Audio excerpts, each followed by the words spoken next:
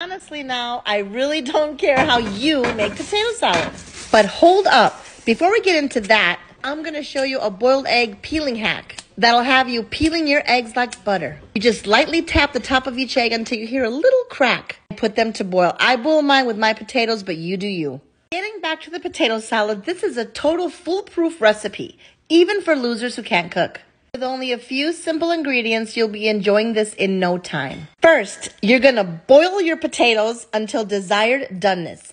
I like mine overboiled. Now don't come at me. I said I like mine. A bunch of eggs, a handful of celery. Do all the stuff, chop it, dice it, slice it, crunch it, bunch it, munch it, and put it all in a bowl together to party. That's what I'm doing right there. See that? It's all going in the same bowl to, to party. Don't forget to season. I added salt and fresh ground black pepper. Here is the secret frickin' ingredient.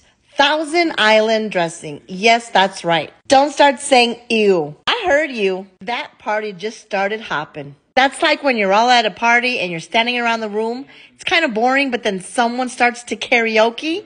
That's right. The Thousand Island is like karaoke. I garnished with more celery leaves and time for the taste test. Oh yeah, that's a party all right. Any questions? Watch this video again.